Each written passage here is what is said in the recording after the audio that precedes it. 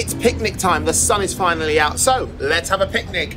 These are M&S collection sandwiches. Now they're not just any old sandwiches, these are ciabatta sandwiches. There's a cheese one, there's a chicken one, there's a salmon one, there's a beef one. They are all totally delicious.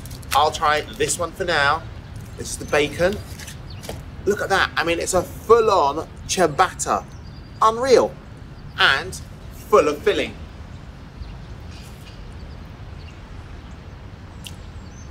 Mm. Every picnic should have a ploughman's, and look what the clever people at M&S have done. This is a ploughman's in a pot, so you've got everything in here. Cheddar cheese, cherry tomatoes, some pickled cucumber, and, oh, look at that. Got my fork, let's give it a try. Yum, yum. this is amazing. You've got to try this.